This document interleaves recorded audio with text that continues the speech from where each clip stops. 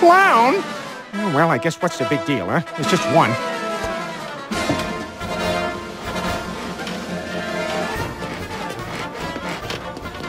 Oh, I was quite sure it was just one from the size of the car. And I'm sorry to say, but if it's Bozo the Clown and he's a Democrat, I'll take him over Trump.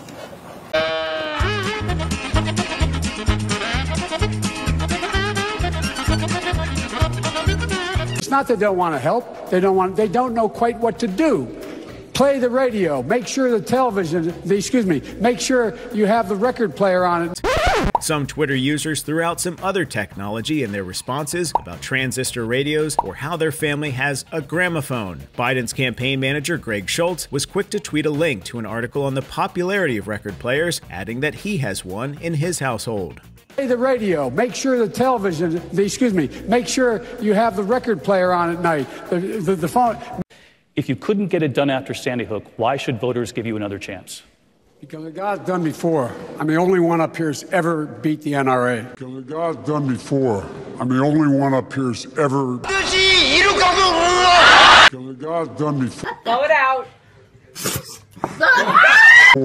I'm the only one up here who's ever. And if you notice, nobody's yet said how much it's going to cost the taxpayer. I hear this large savings. The president think the uh, my friend from Vermont thinks. That- I think the vice president very well knows that sometimes the words don't come out of your mouth the right way.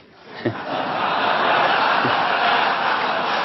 I always say what I mean. the president think the uh, my friend from Vermont thinks. I actually don't.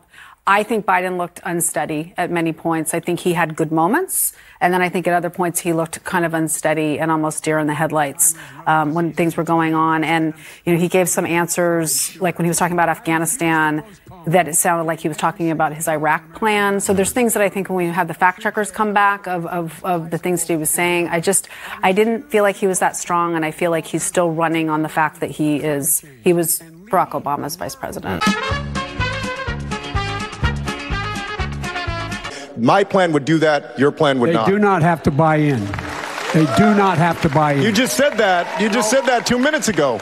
You just said two minutes ago that they would have to buy in. You said they would have to buy in. Have to buy in if she qualifies. Are, are you forgetting what you said two minutes ago? Be in for it. Are you forgetting already what you said just two minutes ago? I mean, I can't believe that you said two minutes ago that they had to buy in, and now you're saying they don't have to buy. You're forgetting that. So, Linda, let me ask you a question about uh, something that a lot of people are talking about now. It has to do with uh, health care, but it was when Julian Castro sort of took aim at uh, the former Vice President Joe Biden asking him about his uh, health care plan and then basically suggesting that he was losing his memory. In other words, that maybe he's too old for this. He didn't actually say that, but he sort of suggested it. Um, so now, in the light of day, what's your take on his attack there? You know, I think Julian Castro was taking a page from the playbook that worked so well for him in the very first debate, where he went directly against somebody else on the stage and was somewhat sharp in the delivery and the attack, just so he could make some headlines and elevate himself. He understands where he is in the polls, and he was on home turf.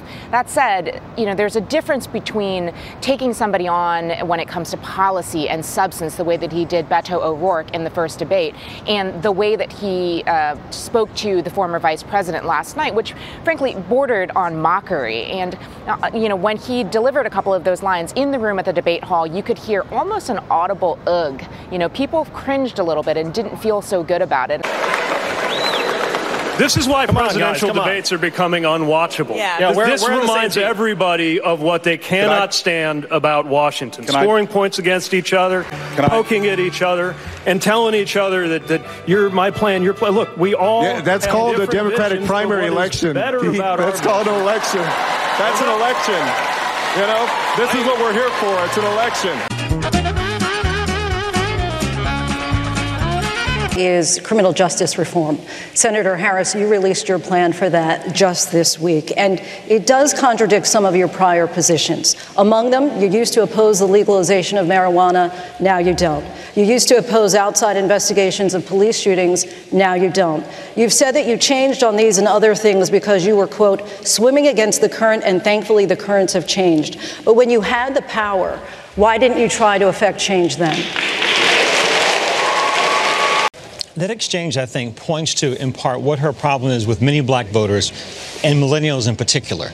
Her record as a prosecutor. We also saw, for all of her success when she went after Biden at the, at the first debate, that she seems she's strong at asking questions, but answering questions we saw tonight was a challenge for her. First, I have a few words for Donald Trump, who we all know is watching. Uh, we're working on a tax cut for the middle income people. And now, President Trump, you can go back to watching Fox News. Uh, but she hasn't had a consistent message. And I'm not sure that she solved that problem tonight. She had great, she had some good moments in this debate. She had one really bad moment, which was this yes, we can Yeah, line to, really uh, to Joe Biden about guns. It was just an inappropriate time, and the laugh was inappropriate. Vamos a hablar de América Latina. Uh, you haven't been asked about Latin America in the previous debate, so uh, let's begin. Uh, Senator Sanders, one country where many immigrants are arriving from is Venezuela. A recent UN fact finding mission found that thousands have been disappeared, tortured, and killed by government forces in Venezuela. You admit that Venezuela does not have free elections, but still you refuse to call Nicolás Maduro un dictador, a dictator. Can you explain why? And what are the main differences between your kind of socialism and the one being imposed in Venezuela, Cuba, and Nicaragua? Vice President Biden pressed you and Senator Warren on how you would pay for Medicare for all. Right.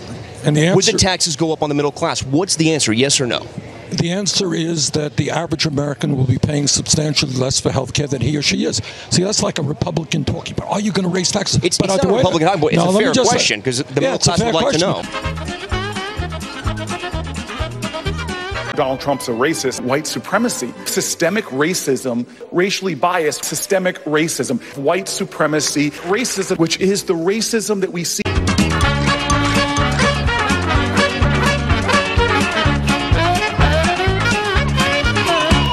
Got one shot to make Donald Trump a one term president, and we cannot lose it. Because of Trump's policy? President Trump. Donald Trump. Donald Trump. Donald Trump. Donald Trump. Donald Trump. President Trump. Trump. Donald Trump. Donald Trump. Donald Trump's. Donald Trump's.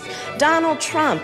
Donald Trump. Donald Trump. President Trump. President Trump. Donald Trump. President Trump. Trump. Trump. From Donald Trump. Donald Trump. Donald Trump. Donald Trump. President Trump. Trump's. President Trump. President Trump's. President Trump. President Trump. Donald Trump. Trump, Trump, Trump, Trump, Trump, Trump.